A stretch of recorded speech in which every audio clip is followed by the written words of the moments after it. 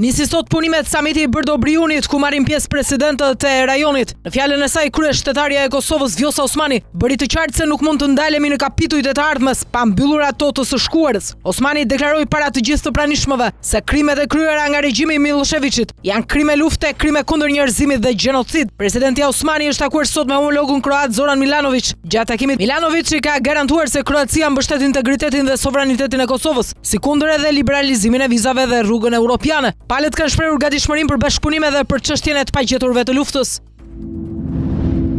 Samiti i Bërdo-Brijunit ka përplasur Kosovën dhe Serbinë. Presidenti Aleksandër Vuçiç është larguar para përfundimit të samitit, me arsyetimin se ka takime në selinë e NATO-s në Bruksel. Ai u ka thënë gazetarëve serbë se nuk ka pranuar që në konkluzionet e takimit të përmendet mosndryshimi i kufijve në rajon, pa u përfshirë edhe kërkesa e Serbisë mosndryshim i kufijve i njohur nga Organizata e Kombeve të Bashkuara, që sipas tij nuk është pranuar nga presidentja e Kosovës Vjosa Osmani. Vuçiç ka insistuar se Kosova është pjesë e Serbisë dhe se me shpalljen e pavarësisë, Nuk është respektuar parimi i mosndryshimit të kufijve. Pas takimit presidenti i Sllovenisë Borut Pahor tha se formulimi që kërkoi Vuçiç për deklaratën përfundimtare do të nënkuptonte që disa shtete përfshirë edhe vetë Serbinë të tërhiqnin njohjen e Kosovës. Pas takimit vetë presidenti serb në një reagim tha se palët kishin mospajtime në çështjen e kufijve.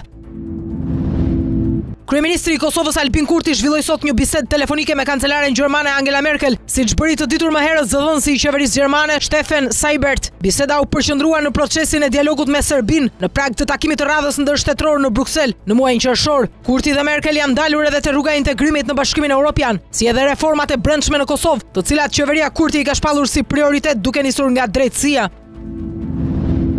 Autoritetet në Kosovë sekuestrojnë 400 kilogram kokainë pas një operacioni të kryer në koordinimin e DEA-s amerikane, të cilët kishin informacion për ngarkesën dhe kishin vendosur GPS për të parë destinacionin. Ngarkesa e kokainës e kapur në një kontener bananesh, ka kaluar nga porti i Durrësit dhe prej 10 ditësh mbahej nën vëzhgim. Sasia e lëndës narkotike kap vlerën e 6 miliard dollarëve. Pasi kanë kryer procedurat në kufi, autoritetet e kanë ndjekur kontenerin i cili u nis për në Kosovë. Në këtë kohë është njoftuar policia e cila ka ndërhyrë duke bërë edhe sekuestrimin e sasisë së drogës në Lipjan. Kjo është hera e tretë që nga porti i Durrësit kapet një sasi e madhe me kokainë në një kontejner me banane. Menjëherë pas operacionit në Kosovë reagoi ministri i Punëve të Brendshme Xhelal Sveçla, i cili përgëzoi Policinë e Kosovës bashkë me partnerët. Sveçla tha se Kosova do të jetë pa kompromis në luftimin e të gjitha aktiviteteve kriminale që rrezikojnë sigurinë e qytetarëve.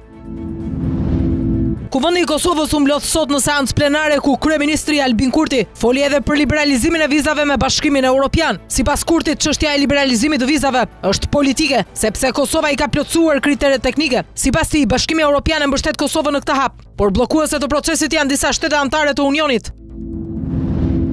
Nga foltorja e Kuvendit opozita ka kritikuar sot programin e qeverisë Kurti. Nga Lidhja Demokratike e cilësuan program populist. Ndërsa kreu i Aleancës për Ardhmërinë e Kosovës Ramush Haradinaj deklaroi se ky program nuk ka logjikë qeverisëse. Në veçanti Haradinaj kritikoi heqjen e buxhetit për ndërtimin e rrugës Deçan-Plavë.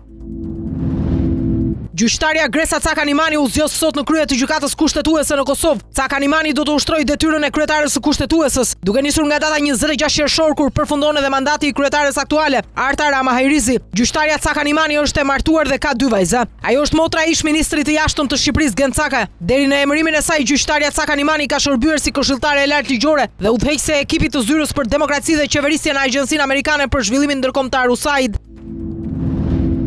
Nisi sot stërvitja ushtarake e Defender Europe 21 në Kosovë, si një nga 16 vendet pritëse. 330 ushtarë të Kosovës janë pjesë e kësaj stërvitje, e cila do të zgjasë deri më 29 maj dhe arena e trajnimeve do të jetë në fshatin Babaj i Bokës në Gjakovë. Autoritetet në Prishtinë e shohin këtë stërvitje si dëshmi e gjallë të partneritetit të ngushtë me SHBA-t, që janë edhe në krye të Defender Europe 2021. Kosova regjistron sërish rënie të bilancit ditor të pandemisë. Gjatë 24 orëve të fundit konfirmohen një viktimë dhe 25 raste të reja me COVID-19. Numri total i rasteve pozitive ka shkuar në 106.939. 2.226 viktima, 99.824 të shëruar, ndërsa mbeten ende aktive 4.889 raste.